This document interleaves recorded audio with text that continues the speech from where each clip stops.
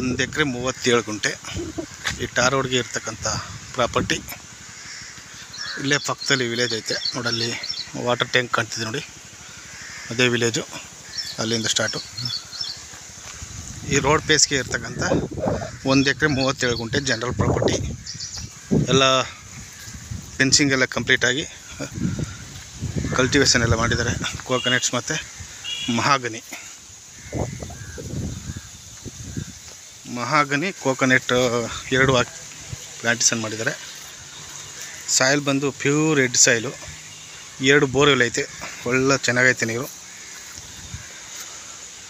Pipe line drip irrigation ಎಲ್ಲ complete ಆಗೈತೆ. Square ಆಗೈತೆ. ಒಳ್ಳೆ ಎತ್ತರವಾಗೈತೆ. ರೋಡ್ಗೂ ಜಮೀನಿಗೂ. ಪಕ್ಕದಲ್ಲೇ ವಿಲೇಜ್ ಐತೆ ಅಟ್ಯಾಚ್ ಆದಂಗೆ. ಈಸ್ಟ್ ಫೇಸ್ಗೆ ಎಂಟ್ರೆನ್ಸ್ ಬರುತ್ತೆ. ಎಂಟ್ರೆನ್ಸ್ ಬಂದು ರೋಡ್ ಅಪ್ರೋಚ್ ಈಸ್ಟ್ ಫೇಸ್ಗೆ ಬರುತ್ತೆ. ತುಂಬ ಅದ್ಭುತವಾದ ಜಾಗ. ಒಳಗಡೆ ಎಲ್ಲ ಏನು ವಿಡಿಯೋ ಮಾಡೋದು ಬೇಕಾಗಿಲ್ಲ, ಎಲ್ಲ ಇದೇ ಥರ ಐತೆ ಸ್ಕ್ವೈರಾಗಿ ನೋಡಿ, ಆ ಕಡೆ ಬಾಳೆ ಹಾಕಿದ್ದಾರೆ ನೋಡಿ.